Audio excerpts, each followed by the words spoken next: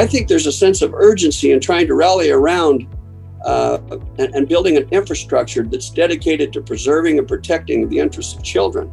I don't think that that's a partisan interest. I think that that's universal. And I, I think that uh, people's ideology uh, often sometimes are impediments. And we need to get away from that and we need to strike down those kinds of uh, unrealistic barriers. I had the pleasure of being part of the first cohort um, for the Policy Leadership Academy, and it has been an incredible, incredible experience. I'm so very happy that I not only heard about it, but had an opportunity to join and participate. I would say for me that the best part of it was the networking with other people in the community. You all have a lot of knowledge and expertise around collaboration as well. And so the design for today is really meant to also tap into all of your knowledge and expertise so that we can learn from one another. You identified, right, that we're working towards a common purpose that it isn't just, although this is important, it isn't just about sharing information. That that's valuable. But if that's the endpoint, then that collaboration from my frame of reference is not going to achieve the kind of social change that that I believe is really important for us to live in a world that is good for children, families, and communities. To be principle based in my decision making, to to make sure I'm doing what's right for the country. Um, I, I believe in the Constitution. I believe in capitalism. I believe in competition, and I believe in charity. I know there's a passion. You can feel it, right? There's a passion in our community. There's, yeah, uh, I love it. There's, yep. they, they, they, we want to see things happen. Uh, the most important thing I learned from the academy was about the different elements to a successful policy, public policy advocacy. I really learned the significance of um, knowledge on public administration, you know, learning to hear best practices from these experts and public leaders as they serve the community.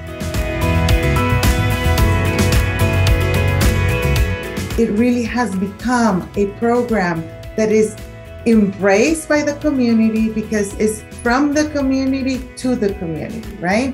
We have been able to provide food from day one of the pandemic and have not stopped since then. You know, it's a sense of belonging, right? I think all of us mm-hmm. as individuals, right?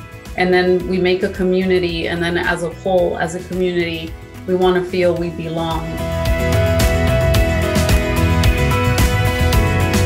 Children's bureau of southern california and the work that is being done in these courses has really been thrilling. Let's talk about challenging situations and challenging people. Use your language use your words cue in schedule boundaries engage and above all listen Listen to what's being said, listen to what's not being said.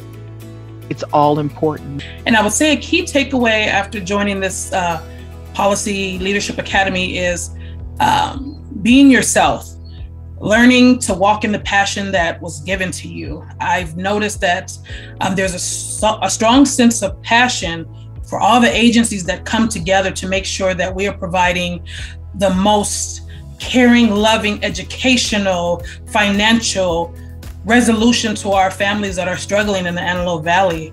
Um, I've learned so much. I've learned so much about community, what it takes to be a leader.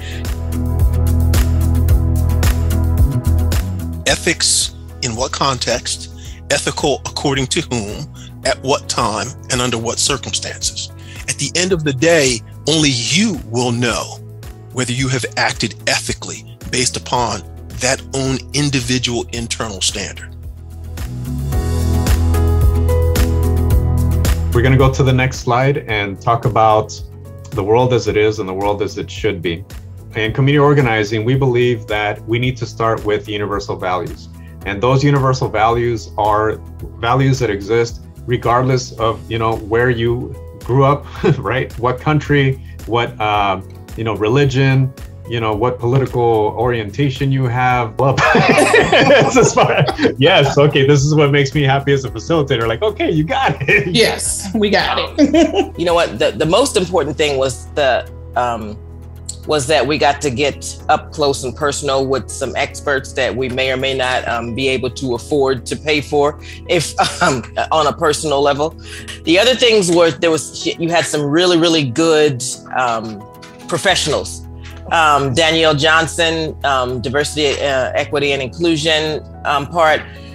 Miss Melodie Tao, the marketing person, and then communicating with difficult people. We do that every day. That that's helpful.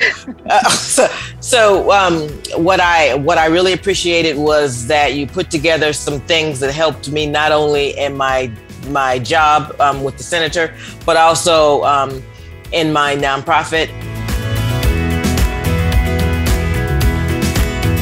if you're really using it to build up your presence and build up your brand you want to have some sort of consistent schedule, and once a week is a great opportunity to start. Okay, it doesn't have to be every single day.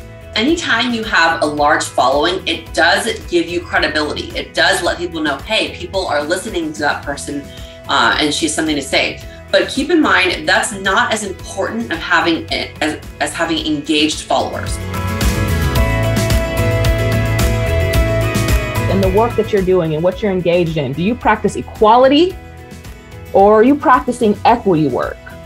Maybe the people you're serving don't want to talk to you because you're coming in too hard. You're coming in a little strong, right? You're preaching to someone that has worked all day and now they kind of come sit and listen to you, right? And you're not being empathetic. So, how are we showing up, right? Are you showing up with the appropriate, graceful, gracious attitude to connect with those that need support? Um, just being in awe of, of the guest speakers that um, poured into us their knowledge and their experience and and their their life their life work. That's it their life work.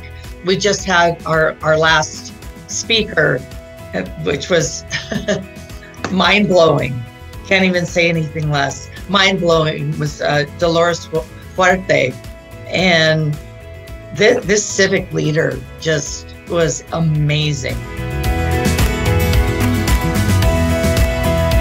Is that we have to remember that we are one human race. And we should never use the word race unless it's attached to the word human. Together, human race. Again, we can see that we're not focused on education. And of course, education is the most, most uh, basic thing that we need. Uh, it's the foundation of our democracy. Who's got the power? We got, the, power. power. What what kind of power? People, power.